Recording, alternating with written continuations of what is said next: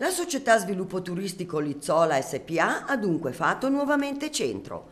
La formula della camminata gastronomica, l'intrattenimento musicale in quota e lo spettacolo delle cascate del Serio sotto le stelle si è confermata vincente, grazie anche alla collaborazione della Croce Blu di Gromo che ha messo a disposizione i potenti gruppi elettrogeni. È un impegno molto importante, molto pesante. Eh, siamo presenti con circa 20 volontari sia nell'aspetto sanitario che nell'aspetto organizzativo per illuminare le cascate e abbiamo eh, posizionato, come vedete alle mie spalle, tre potenti fari che saranno quelli che illumineranno la cascata, ma non solo, perché abbiamo comunque posizionato altri generatori, altre foto elettriche che danno l'illuminazione a tutto il territorio dove tutta questa gente possa muoversi con tranquillità e con sicurezza. Quindi eh, devo dire che il nostro impegno è massiccio ma ci dà grande soddisfazione perché anche il tempo eh, quest'anno ci ha dato proprio, eh, devo dire, eh, la fortuna di avere questo sereno, questo cielo limpido.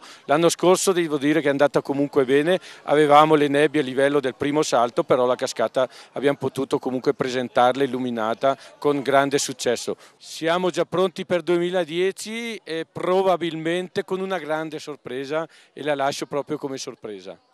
Ma la forza di questa iniziativa è sicuramente mm, un voler avvicinare la gente non solo per la cascata ma con un percorso.